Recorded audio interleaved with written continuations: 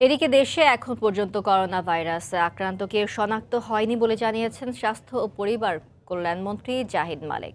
সকালে রাজধানীতে আইসিডিডিআরবির এক সম্মেলন শেষে সাংবাদিকদের বলেন, ভাইরাসটি প্রতিরোধে সব ধরনের প্রস্তুতি নেওয়া হয়েছে।